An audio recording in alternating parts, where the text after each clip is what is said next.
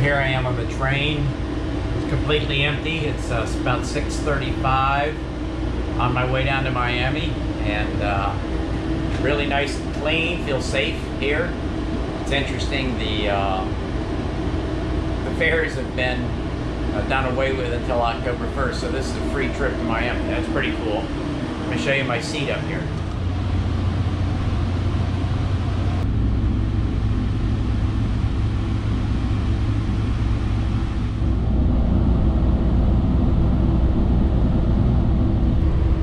So we just pulled out of the station. We're heading to West Palm Beach.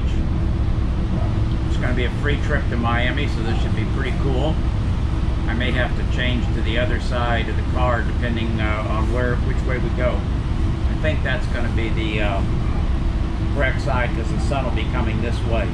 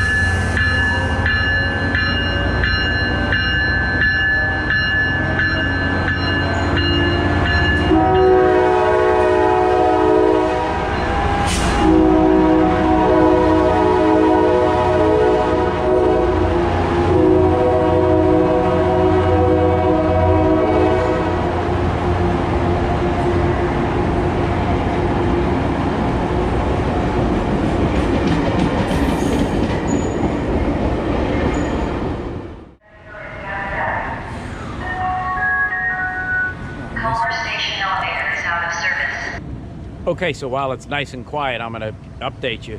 This is where the Tri-Rail stops and the Metro Mover picks up. Metro Mover goes like this, swings around downtown. There's a plane coming in now to the airport. Airport's over this way. In fact, you can see the control tower for the uh, airport here. So this is the junction. The Metro, or the Tri-Rail that I came on passes and goes on over to Hialeah at this point and down to the airport. And I'm heading over here to downtown Miami. So they, I, I just missed the train. Here, I'll turn around. There you go. Can you see Miami behind me? So I just missed the one train. They said they come about every 10 minutes. So we'll just hang out here for a minute and then we'll take the Metro Mover around to downtown. Please disembark at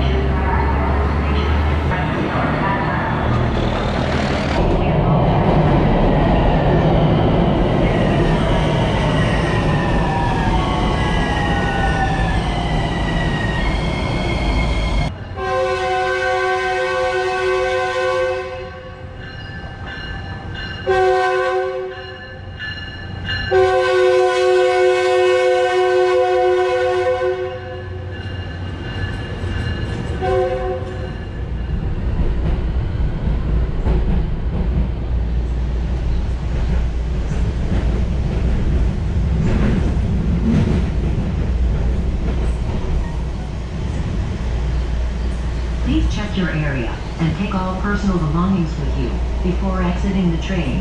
Thank you. Now approaching Dr. Martin Luther King Jr. Plaza.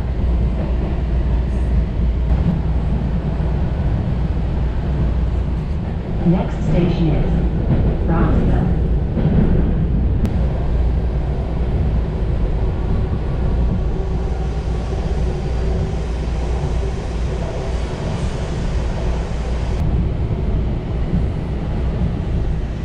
Now approaching Allapattah.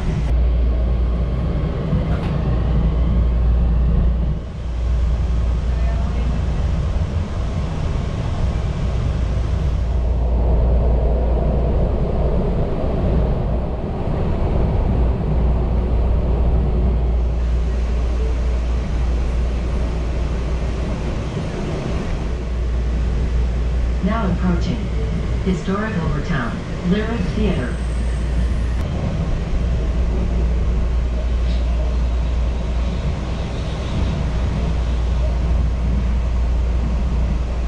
Next station is Brickell.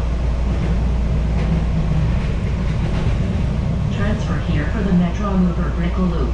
Please check your area and take all personal belongings with you before exiting the train.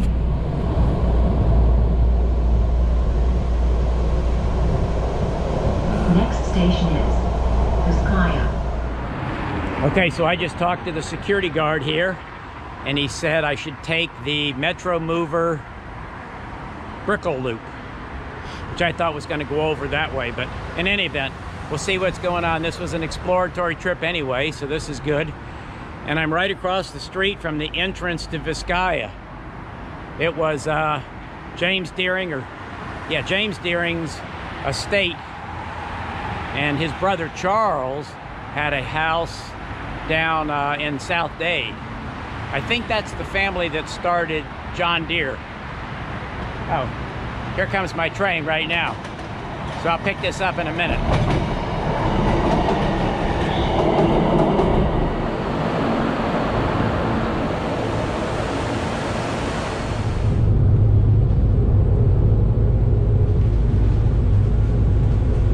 While riding on transit, you are required to wear a face mask. Thank you for keeping all of us safe. Please hold on. The train is approaching. Brickell City Center Station, 8th Street.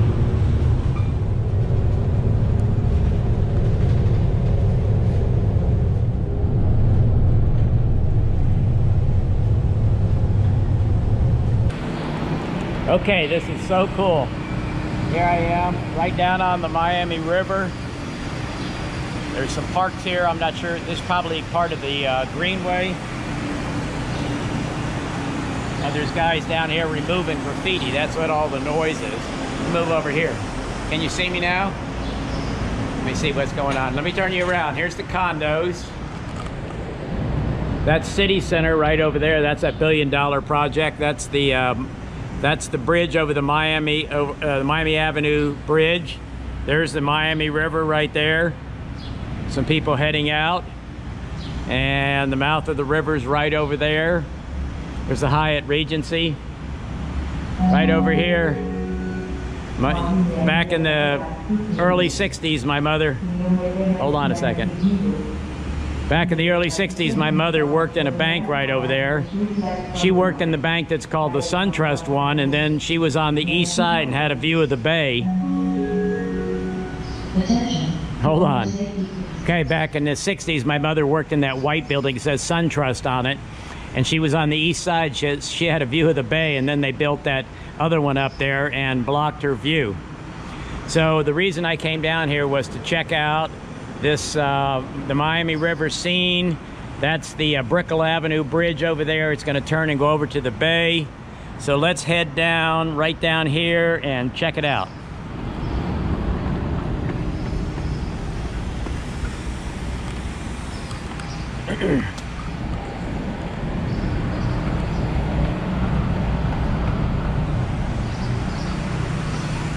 Okay, so this is the Miami River Greenway.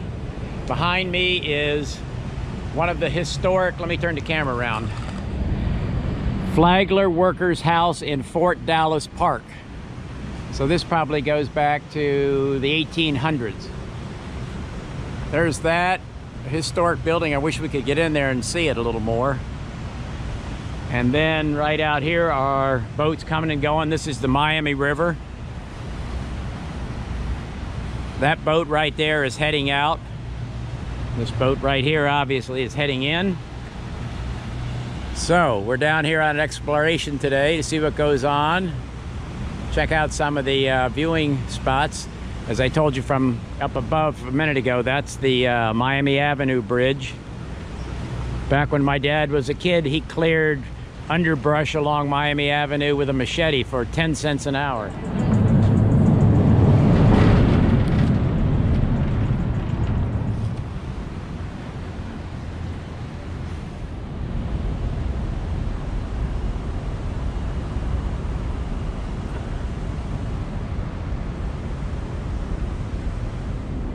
Walking under the uh, Brickell Avenue Bridge. Let me show you the view I've got in front of me.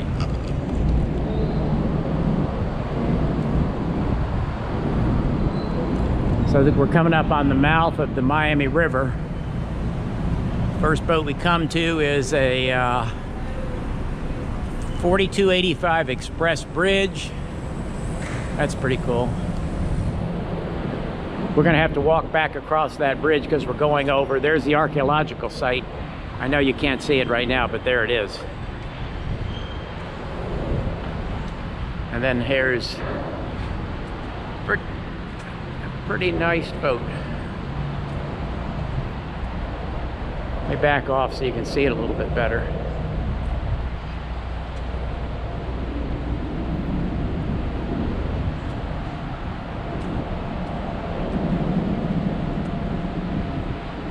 We're going to be right out at the mouth of the bay here in a second. Okay, so there's our archaeological site across the way. And that right there is, I think they call that Brickell Key. This is a boat called the Millennium 2. And this would be uh, Biscayne Boulevard right here. Okay, so I'm right at right on the bay. I have a mask on because everybody here has a mask on. Let me tell you, I've got the camera up against the coconut palm that palm. Let me tell you what you're looking at. That's Biscayne Bay. Those towers over there, those are for loading cargo ships on Dodge Island. And that's where all the cruise ships come in. This is Brickell Key. Turn the camera for you. And then that's the Miami River where I just was. That's the bridge on Brickell Avenue. And that green space over there is the historic spot we're going to go to after we uh, head over here to the Hotel Intercontinental. And here come the here come the tugboats back in that just took that, that cargo ship out.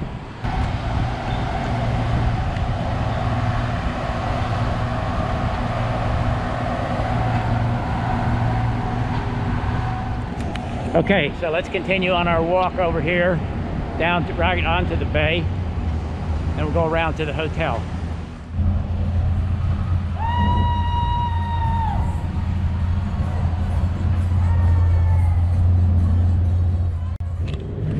Okay, so now I'm coming around facing the bay. That's Biscayne Bay in front of me, Dodge Island. That's uh, way out there, you probably can't see it, is uh, Fisher Island. To the right of that's Bear Cut. And then over here, whoa.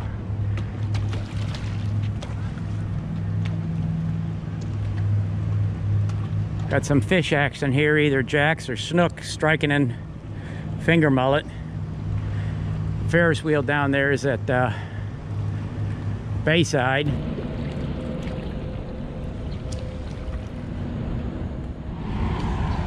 All right, this is what I was telling you about earlier. My mother used to work in that white building there. It says SunTrust on it.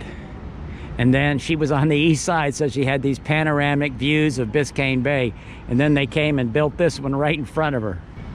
And this is the what was originally the Southeast Bank building is 53 stories. There goes the Metro mover right there.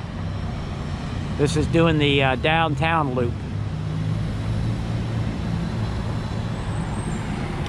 Anyway, that's the uh, Southeast Bank building. At one time, there goes a trolley. Back to the building. At one time, that was the tallest building in Florida.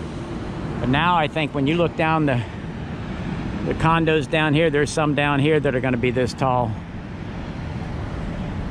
That's 53 stories.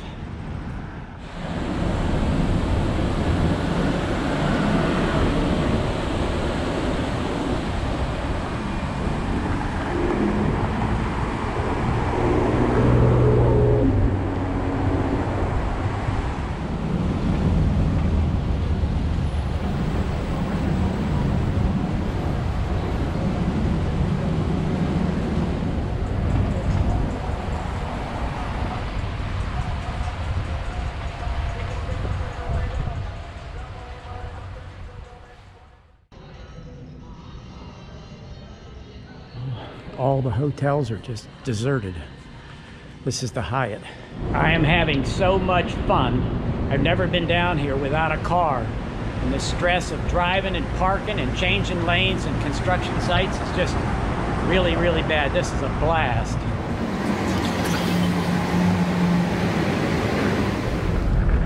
That's the archaeological site over there where we're our destination.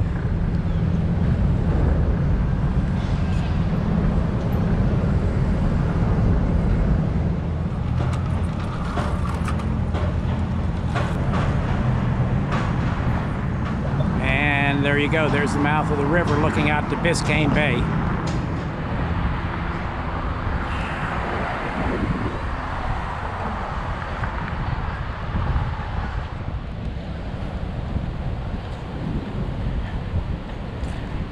So this is Mary Brickell Park. Let's walk down here and see what what we can find at the other end.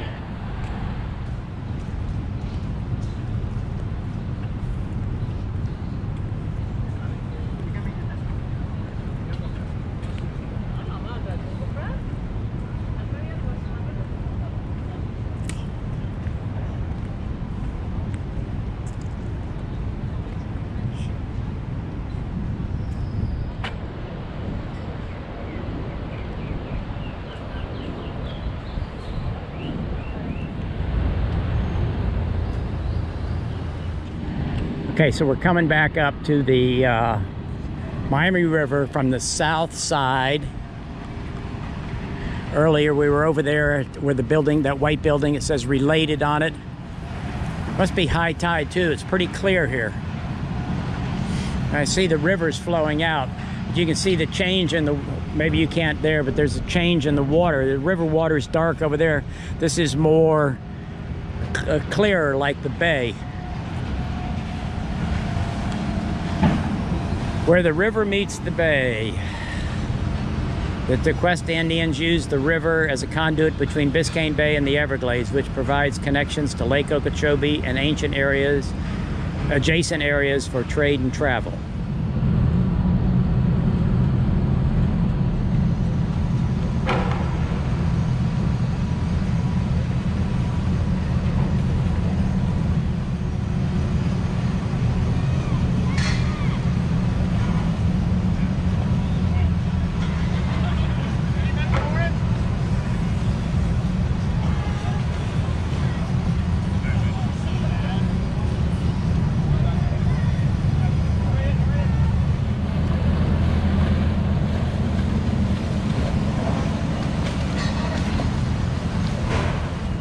So this is the Miami Circle.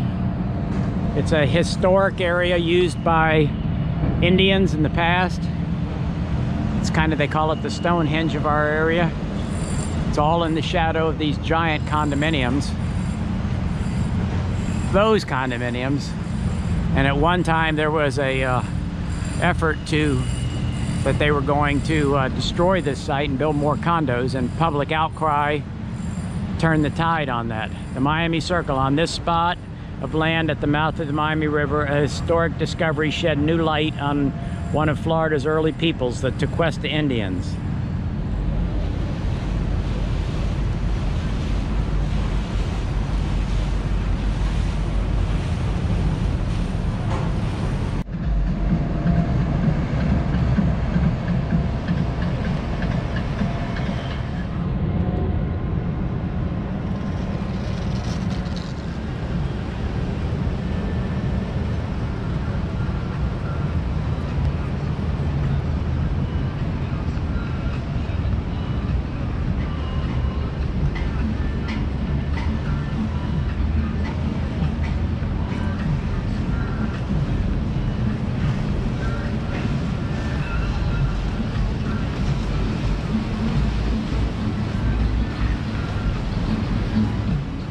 Don't know how long it's going to take me to make all my connections. Let's see, I have to get on this, and then I have to get on that, and then I have to get on the tri-rail, and I want to get something to eat, fill up my water bottles, and I've got to walk.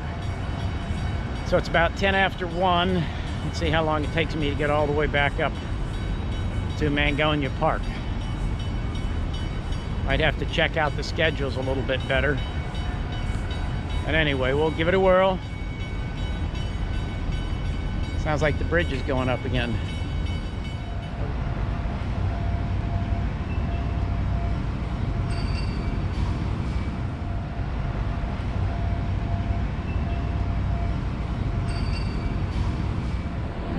Let me show you the columns holding up this uh, building. They're designed to look like the heads over on Easter Island. It's hard for me to tell if you can see it with this really wide angle. That's pretty cool.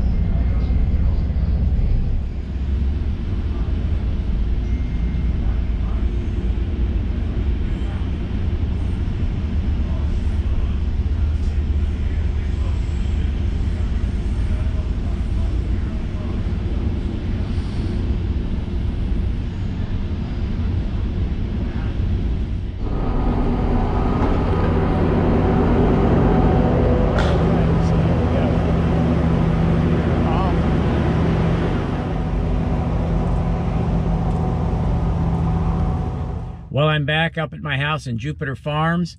I decided instead of taking I-95 from the train station in Mangonia Park, I'd come the Beeline and out the back. I'm out at Pine Glades right now. My house is right around the corner.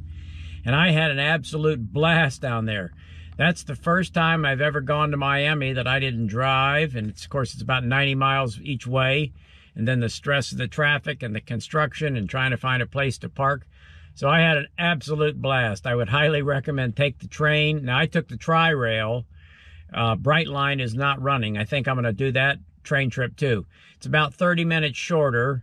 The tri-rail and then the different legs you have to take to get over there. It took me about a total of about two hours to get down to downtown Miami. But boy, it's fabulous not to have any uh, cars to worry about. I had a great spot right there in the mouth of the Miami River. I'll have some fantastic video of boats there. And I think Claire and I are going to go back next Saturday. It's just fabulous. So I I hope you enjoy the videos that I make. Um, if you did, you might, if you do, you might consider subscribing so you don't miss other ones. And if you give me a thumbs up, it'd be- make everything worthwhile. Till the next video, have a great afternoon.